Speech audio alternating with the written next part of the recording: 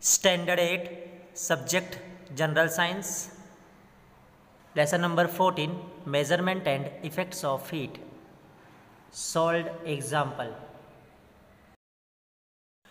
Suppose the masses of the calorimeter, the water in it and the hot object made up of copper which is put in the calorimeter are the same the initial temperature of the calorimeter and water is 30 degrees Celsius and that of the hot object is 60 degrees Celsius.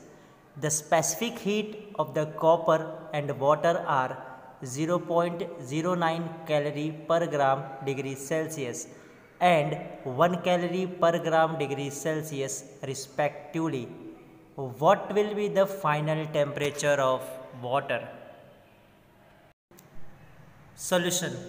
Here the given are mc that is mass of the copper is equal to mass of water is equal to mass of object. Let us take this as m. Initial temperature is 30 degrees Celsius and the final temperature of the hot object is 60 degree Celsius. Specific heat capacity of the object which is made up of copper and specific heat capacity of the calorimeter are same because both are made up of copper which is, is equal to 0.09 calorie per gram degree Celsius and specific heat calorie specific heat capacity of water is 1 calorie per gram degree Celsius.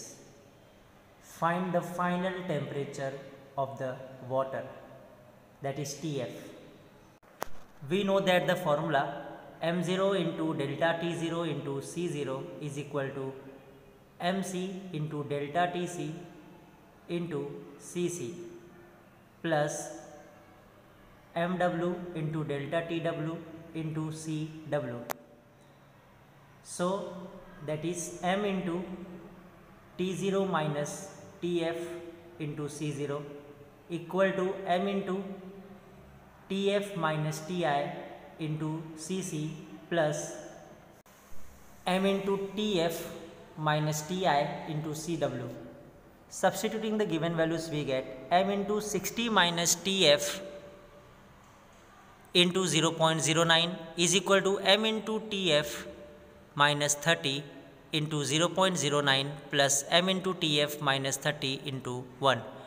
Cancelling m from both the sides and simplifying we get 60 minus tf into 0.09 is equal to tf minus 30 plus 0.09 plus tf minus 30.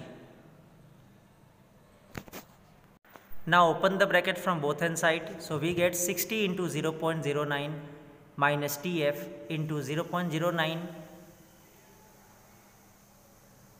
equal to TF into 0.09 minus 30 into 0.09 plus TF minus 30.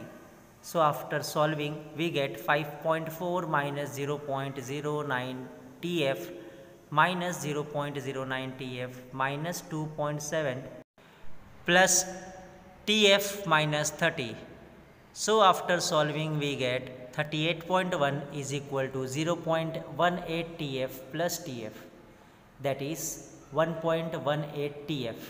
So therefore TF is equal to 38.1 divided by 1.18. So we get TF is equal to 32.29 degrees Celsius. So students we will see the next topic in the next video. Thank you.